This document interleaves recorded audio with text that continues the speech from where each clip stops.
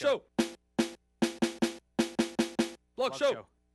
Welcome to the Blog Show Dojo, your weekly lesson in sports blogging karate. I'm your sensei, Jamie Mottram, and as always, our master is Dan Steinberg. Dan Steinberg of the DC Sports Blog at WashingtonPost.com. We're going to take you on a weekly tour. That was gratuitous. Thank you. Our weekly tour through the world of sports blogs. Every time we ring the bell, a blogger gets his wings, and probably some ESPN columnist makes another Karate Kid reference. All right, first up in baseball, we should start with Curt Schilling's 38 Pitches blog because everybody's been talking about it all week, but we'll leave that to the big boys at PTI, the professionals like your good friend Tony Kornheiser. Here on Blog Show, we show you mascot dance-offs courtesy of LarryBrownSports.com.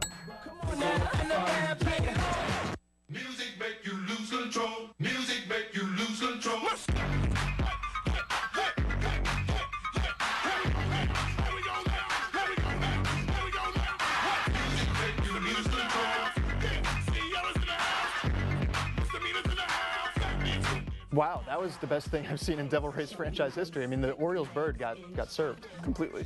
Although I will say that I think that Screech maybe deserved, Screech, the Nationals mascot, maybe deserved a spot. who in that doesn't know. Screech, yeah. Because he does have that kind of pelvic thrust down where it's a little bit disturbing sometimes. But speaking of the Orioles, Dirty. I guess, I, I wrote myself a blog item about one of their minor league franchises on the DC Sports Blog about the Bowie Bay Sox. And they had uh, one of the greatest promotions I've ever seen this week, Office Space Night, in honor of the uh, famous movie from 1999 of Office Angst. And so in honor of this, you could go out in the parking lot and for a dollar you could take a wooden baseball bat and smash it into, for example, like a fax machine mm-hmm. or a computer or desktop, something like that. We wanted to do that on set here. The evil people behind Washington Post Live would not let us. Instead, they said that we could break some pencils. Unfortunately, I seem to have broken most of mine, but You, you can't Oh, break that in four. oh, look at that. Whoa! I did it. All right, satisfying. Feats of strength. Very Pretty satisfying. impressive. Well, when we, when we told our good friend Jay Skeets of the basketballjones.net that we were going to be talking about Office Space Night at the Bowie Bay Sox game, he said he had a couple other minor league ballpark promotions, movie themed ones. Uh, the Big Lebowski Night, where there would be bowling, half priced white Russians, that's nice, and nihilists get in for free. Nihilists. Yes, and also Lord of the Rings night. Fans get their money back if the game lasts longer than the trilogy. A lot of lady killers in the ballpark that night, I assure you. And then finally, Gigli night, where no one shows up at all. Right. And speaking of things that make the fans happy, like I guess Gigli and I would be the opposite of that. Anyhow, speaking of things that make the fans happy, we saw on the Home Run Derby blog, Vernon Wells at a game at Jacobs Field was kind of heckled mercilessly by some Cleveland Indians fans. They're and he, good at that. he returned the favor by kind of writing some heckling, heckling of his own on a baseball and throwing it into the crowd. And I don't have the text here. Maybe you could read it off. Well, at homerderby.com, they have the pictures, and the uh, transcription is, "Dear Mr. Dork, here is your ball!" Exclamation point. Can you please tell me what gas station you work at, so when you are pumping my gas, I can yell at you! Triple exclamation point. Now sit down, shut up, and enjoy the game. Your favorite center fielder, Vernon Wells. Here's an interesting bit of baseball trivia. I think the Toronto Sun, in recounting this kind of episode, actually spelled center fielder the uh, French Canadian way, centre fielder, you know? Is that wrong of them to do so? Vernon Wells on the ball, you can see it very clearly. He wrote center fielder in the American spelling. Lost in translation. Kind of controversial. Well- speaking of controversial, do you mind if I go with that transition? Please, you go. Speaking of controversial, Deuce of Davenport blog came up with Extreme Baseball. And we've, we've got some video of this. And Extreme Baseball kind of involves two baseball games going on at the same time. This was intended for left-handers, I guess, to have a, an equal chance at whatever whatever it is that they needed an equal chance at doing. But what happens is that you know, there's two pitchers and two umpires, and there's guys running this way around the base path and this way around the base path. You don't usually see baseball teams going backwards, except the Nationals, I guess. But it seems like a entertaining way to play the sport. That sounds utterly ridiculous. So let's move right along. Okay. And not talk about the Stanley Cup playoffs, but do talk about hockey just a little bit. Offwingopinion.com posted some video of a 13 year old whiz kid in a skills competition wowing the crowd. Take a look.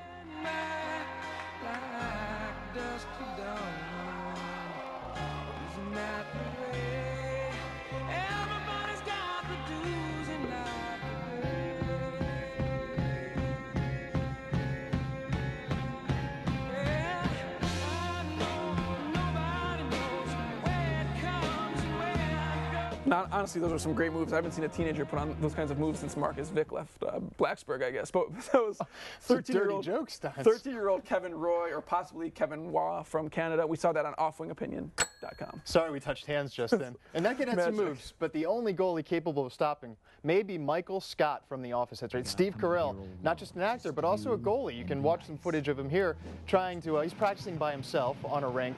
Uh, since, you know, the puck is an inanimate object, he has to attach it to certain things to test his goaltending skills and net minding skills. So he attaches it to a remote control truck. uh, the, uh, the backside of a cat, Yeah. so that the puck can come near the net and he can show off his skills. And sometimes he managed to stop it. And we saw that one on the fan house. Yeah, well, fan house. And I guess before we leave the world of hockey, I wanted to give a quick shout out to Ted Leonsis over at Ted's Take for sending bloggers from On Frozen Blog over to the World Championships in Can- uh, Russia, I believe. Yes. It's very nice of him, and I think it shows that the financial commitment of the Washington Capitals organization is there, at least for bloggers. To Russia with Love, Ted Leonsis, friend of the bloggers. Let's move from hockey to the NBA playoffs. We've been talking about the Warriors every single week. Gilbert Arenas has jumped on the Warriors bandwagon. He said on his blog, Gilbert Arenas' NBA.com blog, that that's his pick to go all the way. We spent plenty of time with Baron Davis, Stephen Jackson. This week, it's Don Nelson, that old curmudgeon. The NBA is cramping his style. We saw him swilling Bud Light at the post-game press conferences in the first round of the uh, series. Looking like a steel worker who Well- just got off his shift. Oh, that was planned. And Fanhouse noted he's no longer allowed to drink his delicious Bud Light. Yep. Too many calories, I guess. I mean, I think that the, the natural inclination of the bloggers is to wonder. I mean, really, isn't there just as much, you know, alcohol in like a Robitussin or something that he might be drinking? But we get the point. You know, there's there's too much drinking and driving nowadays. Well, now the bloggers are rejoicing in Nelson's phenomenal swag. They've the fan house found a Nelly T-shirt on the eBay's. Very nice. And they also created their very own Nelly flask. Their version is with the Warriors logo and with the drunk coach engraving. Mine's just a Redskins flask, but at least to Coach Nelly, this one's for you, partner. you can take a sip, I guess. And I'll just say that that was found by MJD on uh, on the Fanhouse blog. Sure who was. noted that you can get flasks for I think a whole bunch of teams on NBA.com. You're not supposed to fill them with Dr. Pepper as I did. Is that tasty? Soft drink of champions. I'm a little parched actually myself.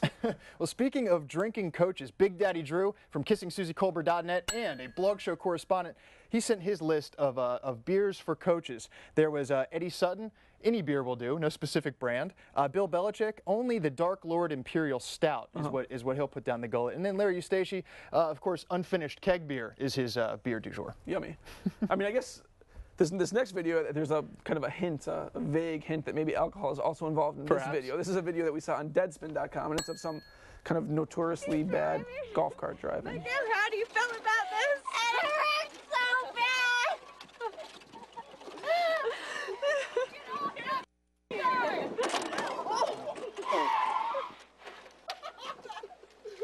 And contrary to popular belief, there was no drunk girls harmed in the making of that video.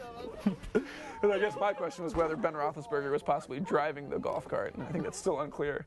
More on him in a moment. Yeah, we'll talk about that in a second. I want to talk about Deuce of Davenport yet again.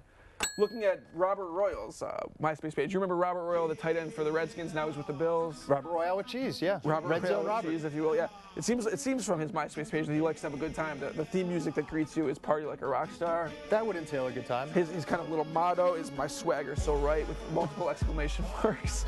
And, you know, he, he says, "What more can I say? I'm that boy." He just likes to have a good time. There's nothing wrong. He could be with the less talented Gilbert Arenas of the uh, NFL. It was a nice MySpace page that he had. Well, also in the NFL blogosphere, we found this one on Mondesi's house. It's a poster of Ben Roethlisberger uh, hanging out with the ladies, and then Brady Quinn hanging out with the boys, Right. as Brady Quinn likes to do. Right. And uh, you know, kind of, I guess, a comparison and contrasting between the two quarterbacks in Pittsburgh and Cleveland. And I think Mondesi's house is maybe making some kind of sexually suggestive remarks that maybe Brady Quinn was less of a man somehow than Ben Roethlisberger. I think the point is you're happy if you're a Ravens fan or if you're a Bengals fan because thus far at least your quarterback has not seen been seen in public drunkenly carousing with members of either sex. Or maybe their Q rating isn't high enough for these pictures to, you know, circulate. Perhaps. But also at Mondesi's house, they showed uh, Ben Ro- Roethlisberger and his uh, Denali, his big truck, on eBay. You can buy Roethlisberger's SUV for 30 grand. Right. It's got 24-inch wheels. Right. It's got the DVDs in the back of the uh, seats. yeah, you were a little skeptical, I guess, when we talked about this, but my Oh, yeah, it looks kind of like there was just a car in a parking lot and Ben Roethlisberger like posed next to it, and Right. then they put the photo on eBay. But I think that what you're forgetting is the little description from, from eBay, which says you are bidding on a piece of sports history. And also the other thing was that the, the miles, the 14,300 miles on the Denali, were only put on during dry, sun, sun, sunny days. It said. Well, no, uh, no sports bad history, at the, all. the one time Roethlisberger actually drove a uh, car with doors. Right. Uh, also in sports blogging history, this week the fine lady friends from ladies dot dot dot dot wordpress.com are hosting the Hot Male Bloggers tournament. Right. And you may be skeptical that they could fill an entire bracket with hot bloggers, but Right. you take a look. yeah. I mean, what? Seriously, I was going to ask you actually, present company excluded, who do you like in the hot bloggers competition? I got to go with Matt Ufford from With Leather because he is super macho sensual. Awesome. I was thinking at first kind of Dan Shanoff from danshanoff.com, but th- but then I was kind of leaning towards maybe Ted Leonsis because I think he's a good-looking guy too. Oh, Mr. Moneybags. That's right. Ladies like that. Well, one thing that won't help you in this competition is eating copious amounts of cheese. Before we get to the cheese, can we can we notice one more one more piece of blogging Sure, history that this week? transition was spot on. It was a nice transition, but MrIrrelevant.com, your blog is actually celebrating Ah. a birthday. Am I right? Go on. That's true. Yes, three years Congratulations, old today. Congratulations, Jamie, for three years of blogging history. Yep, he was conceived after a special night between me and the internet three years ago, 2004, May 10th. That's Yes. right. Now I think that's probably enough of that. And I'm going to move on to my cheese of the week, and this is in honor of the America's Cup of Polo, an international polo event being held in Leesburg this say. week.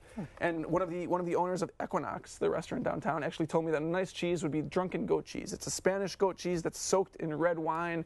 Very nice for picnics, and this is a kind of picnicky event. So if you're heading out to Leesburg this weekend, bring your drunken goat with you. Well, I'm looking forward to our weekly cheese tasting after the show.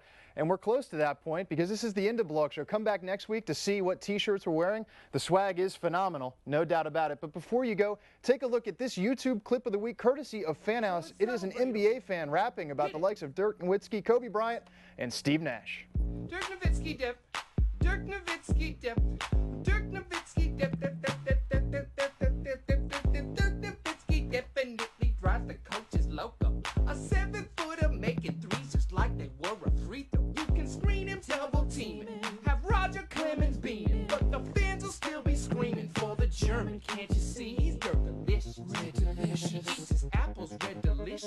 And they must be nutritious. Because Dirk never misses. He throws swishes. Swish. Each time he shoots the rock, rock. And we be lining down the block just to watch his German shot. He's Dirk delicious. He's not hot. Dirk Show Wardrobe provided by Mothering Hut Design at BobbyBoswell.com. He's never in the sun alive. Oh, yes, blog show it is, and you can find more of this wonderful stuff. Compliments of Dan Steinberg's DC Sports Blog on WashingtonPost.com and Jamie Mottram's MrIrrelevant.com. That is his personal blog space. And of course, the AOL Fan House, which is his professional blog space.